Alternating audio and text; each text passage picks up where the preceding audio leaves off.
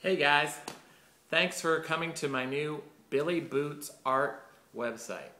I'm here to announce my summer project, which is the Texas Billy Boots Art Tour, in which I will plan to spend the months of July and August traveling this big, huge state, going to fascinating places, meeting interesting people, mayors, business people, artists, and just general folk, and creating art all along the way. And hopefully you'll follow along uh, this blog and website, and also you'll contribute, look down, uh, to my Indiegogo campaign to uh, be a part of this journey, be a part of the art, and help me make this all happen. Thanks. Positive attitudes change everything.